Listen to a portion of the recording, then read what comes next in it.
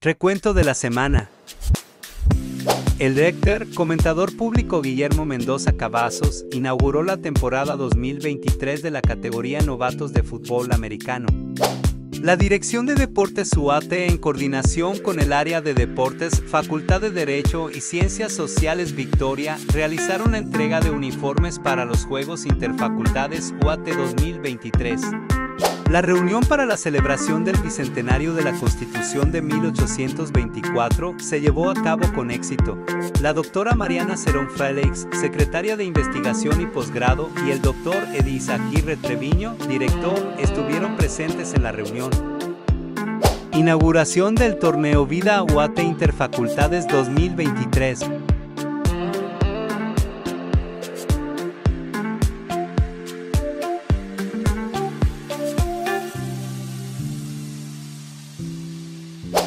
Charla Jóvenes Inmersos en la Lectura, en donde Marco Arturo Puentes Osaya nos compartió sus experiencias.